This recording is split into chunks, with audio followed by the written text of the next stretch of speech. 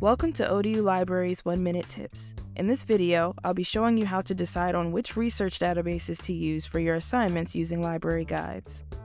First, you'll go to the Old Dominion University Library's website and click Library Guides. Here, You'll find library guides for every area of study offered at ODU. These guides are created by librarians and contain resources specifically recommended for each subject area.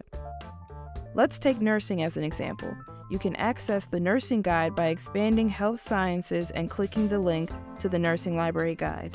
Peer reviewed journal articles are important, so let's view the Find Articles page. The nursing guide recommends databases like Bates, CINAHL, and HealthSource, which are subject specific databases that are particularly useful for nursing research.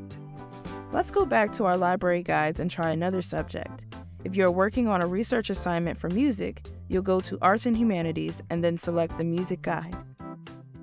Go to the Articles page, and you'll see the databases recommended by our librarian for music. You'll probably want to start with Music Index and also try RILM, an Arts and Humanities Citation Index from Web of Science.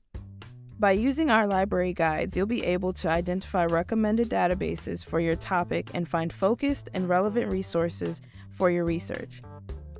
If you have trouble figuring out which database to use, feel free to ask us using library chat or contacting your subject librarian.